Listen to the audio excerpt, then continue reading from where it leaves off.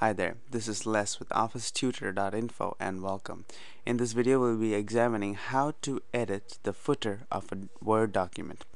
Go ahead and scroll down to the bottom of this document and close to the edge of the page double click and you'll find that there's an outline here, there's a label footer.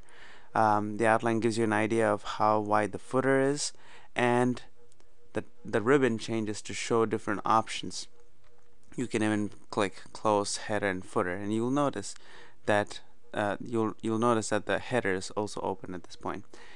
If you had trouble accessing the footer of the page even after you try double click simply go to the insert tab and you'll find the footer button over here and you can choose the formatting as well.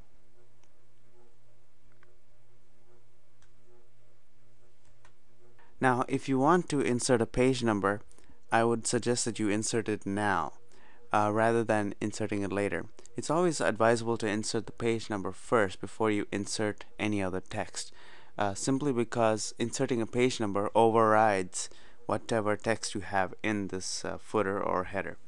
So go ahead and let's try this out.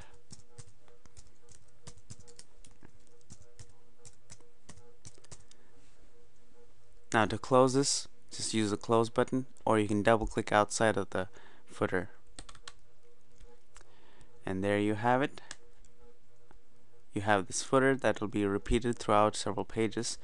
And again you can um, just as we said in the in the header tutorial you can use a different one for the first page or different for odd and even pages. Again, this is Les with OfficeTutor.info. If you have any questions or comments, please send us a message through OfficeTutor.info. Thanks.